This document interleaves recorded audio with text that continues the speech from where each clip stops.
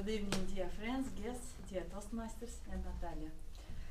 Uh, I will repeat your words about failures. Our failures are very important to our for our personal growth. So I'm here to give you uh, si- my sincere feedback according to the item of your speech, of course. My first aim as a personal evaluator of the project number three was to determine the general and specific purposes of this speech.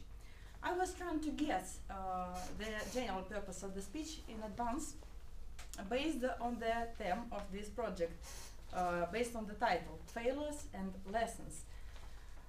What do you think, dear Toastmasters? Uh, is it to inform, to persuade, to inspire, or to entertain? What was the general purpose? Inform? Uh, okay, and uh, I consider that purposes will be to persuade, entertain, and maybe a little bit to inspire. Natalia entertained us by interesting uh, stories from her personal life, uh, from your career, and uh, persuaded at the final of uh, her speech to collect our failures, not to forget it forever, uh, for our future, for our experience.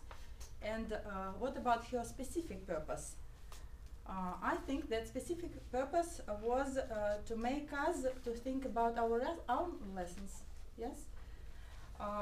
The beginning, body, and conclusion supported these purposes. These both purposes, purposes, bo- general and um, specific. But I would like to hear in your voice, Natalia, more emotions.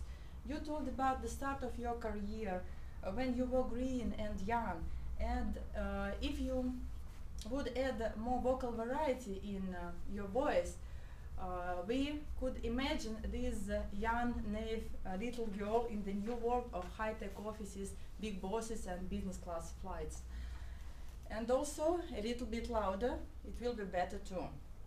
Uh, you also mentioned uh, about one painful situation which happened with you. It was also a possibility for your actor playing, more playing, more actor. Uh, our life is our, is uh, the theater. Uh, another minus, it was uh, your smartphone in your hands. It was a little bit uh, distracting for me. But these uh, remarks uh, did not uh, disturb you to guide us, uh, the, your audience, through your story and uh, lead to lead us to two important lessons from two situations. One, uh, to prepare uh, detailedly to every important meeting in advance, and uh, two, not to feel nervous and relax, but not to laugh during the meeting. And of course, in your conclusion, you have uh, supported your general purpose. You reminded us how it is important to remember even our bad experience. So for me, it is um, a subject to think deeply this evening. So I am very grateful to you for this speech, for this uh, item, and I wish you good luck in your fourth project. Thank you.